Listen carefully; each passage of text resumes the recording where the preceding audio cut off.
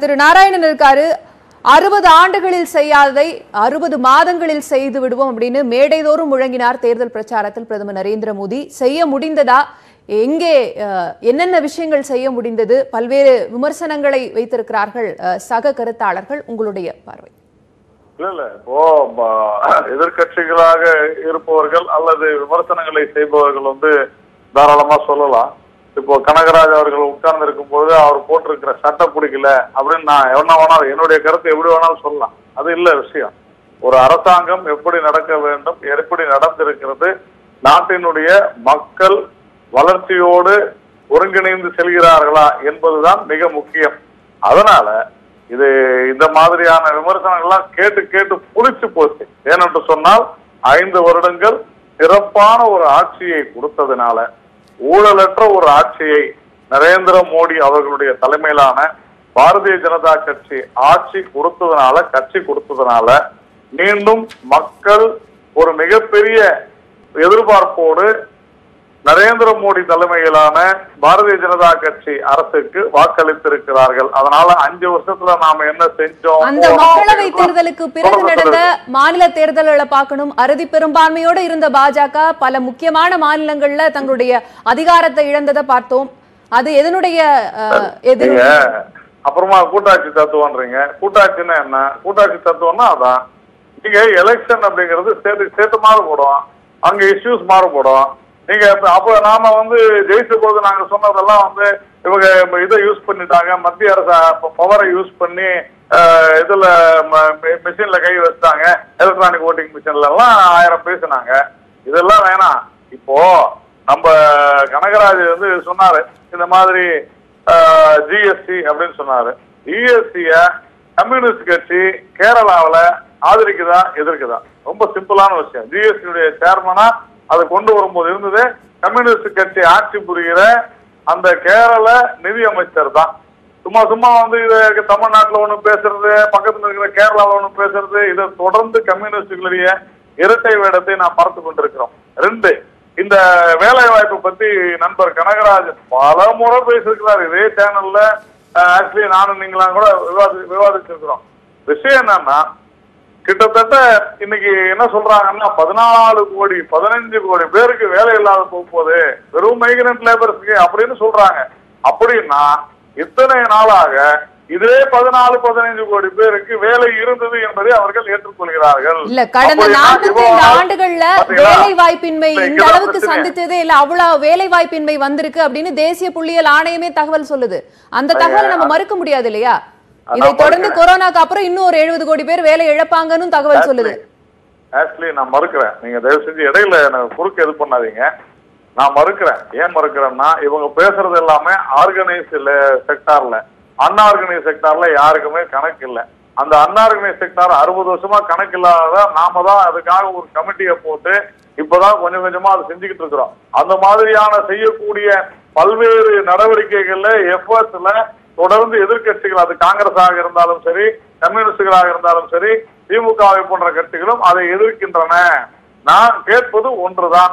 இங்க நீங்க இவ்வளவு பேருக்கு இப்போ கொரோனா வந்த பிறகு இந்த ஊரடங்குல வேலை வாய்ப்பு பறிபோய் விட்டது என்று சொல்கிறீர்களே. அப்படி என்றால் நீங்கள் ஏற்றுக்கொள்கிறீர்களா? இத்தனை வருஷமா? கொரோனா வருவதற்கு முன் பிரிச்சாலும் இங்க வேலை வாய்ப்பின்மை அப்படிங்கிற ஒரு விஷயம் இருந்திருக்கு. அதனுடைய பாதிப்பு இனியும் தொடர போகிறது அவ்வளவுதான். இதற்கு முன்னாடி அது இல்ல. கொரோனா தான் எல்லாவற்றுக்கும் காரணம் அப்படின்னு அதன் மேல நம்ம எல்லாத்தையும் எடுத்து வச்சிட முடியாது அப்படிங்கறது அவங்களுடைய வாதம்.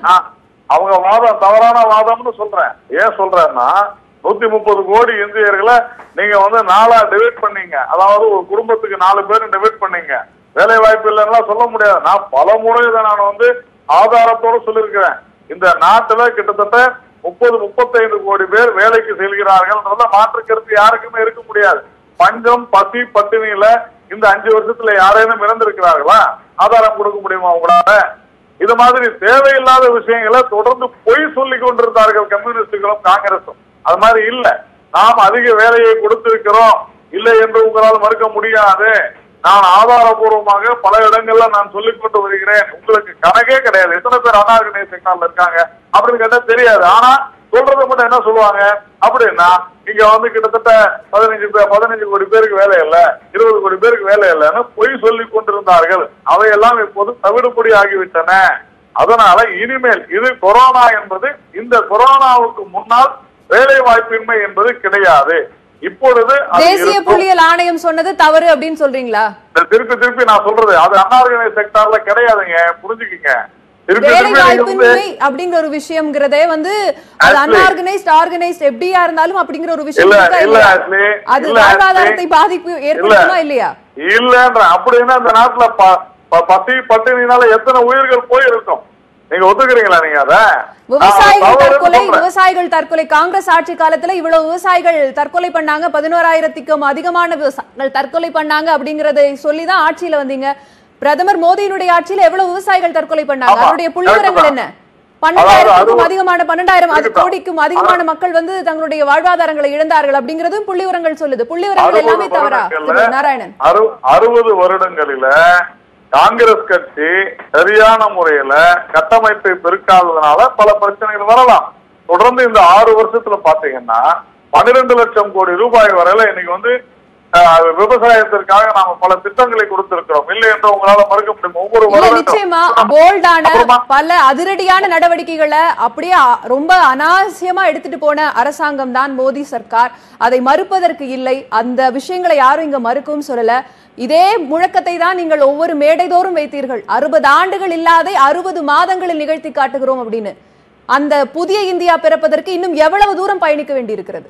இல்ல நீங்க புதிய இந்தியான்றது இது ஸ்லோகனுக்கு அதுல ஒன்றும் சந்தேகம் இல்லை. இதே இந்தியா தான். ஆனால் இது பழைய படி இருக்கிற நிலைமையை மாற்றி நாம் கொண்டு வந்து கொண்டு உதாரணத்துக்கு ஒன்னே ஒண்ணு சொல்றேன். பத்து பர்சன்ட் இன்னைக்கு வந்து இன்டர்நெட் யூசர்ஸ் ரூரல் அதிகமா இருக்கிறாங்க. ஞாபகத்துல வச்சுங்க டென் பர்சன்ட் ரூரல் அதிகமா இருக்காங்க அர்பனை விட அந்த அளவிற்கு நாம் கொடுத்திருக்கிறோம். இன்னைக்கு விவசாயிகளுக்கு சம்மான் நிதியிலிருந்து நீங்க ஜன்தன் அக்கௌண்ட் அன்னைக்கு ஜன்தன் அக்கௌண்ட் பத்தி பேசும்போது இதே கனகராஜ் அவர்கள் என்ன வந்து கிண்டல் பண்ணாரு. இதெல்லாம் சாத்தியமா? காங்கிரஸ்ல வந்து சிரிச்சாங்க ஏளனம் பண்ணாங்க கிண்டல் பண்ணாங்க.